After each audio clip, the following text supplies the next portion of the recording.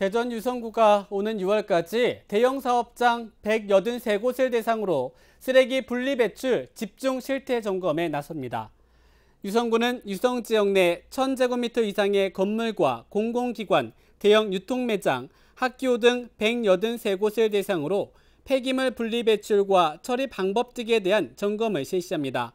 유성구는 위법 사항이 적발되면 조치 명령을 내리고 조치 명령 불이행 시에는 100만 원 이하의 과태료를 부과합니다.